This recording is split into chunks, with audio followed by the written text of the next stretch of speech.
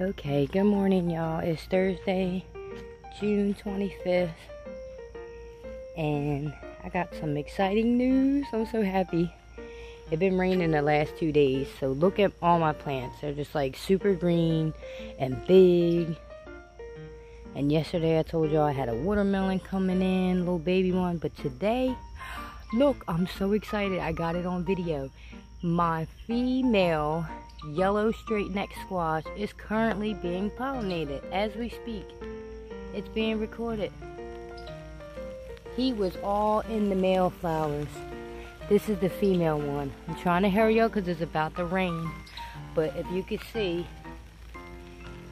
it's the yellow one. It's a yellow straight neck right there. And it opened up today.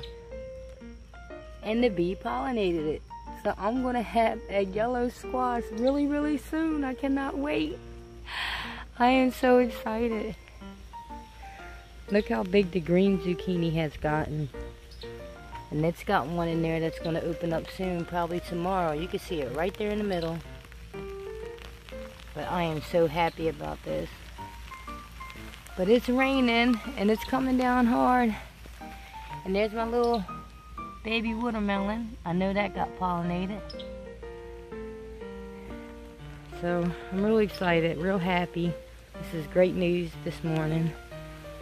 Tomatoes are doing real good and my radishes are doing better in the ground over here than they were in the pot. They're doing excellent. Oregano is flourishing big. I'm gonna cut it when I make some spaghetti. But other than that, I am so excited. I have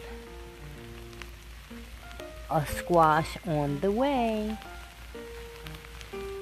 Stay tuned, y'all. Got to get my phone out the rain.